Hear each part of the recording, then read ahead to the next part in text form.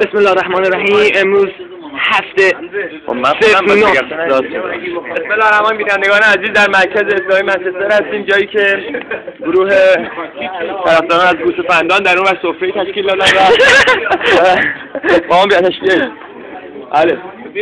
آجی در مورد این حرکات مذبوحانه در مورد گوسه فندان اینا چی آقا؟ برو برو برو طرف خودت می‌شناسی. بله بله با هم تشکیل بیاریم این ور سر دیگی که حالا منو به نگیر بله جناب آقای محمدی زحمت مرز رو دارن می‌کشن چش می‌خواد چش آقای شما چه اینجوری با چش که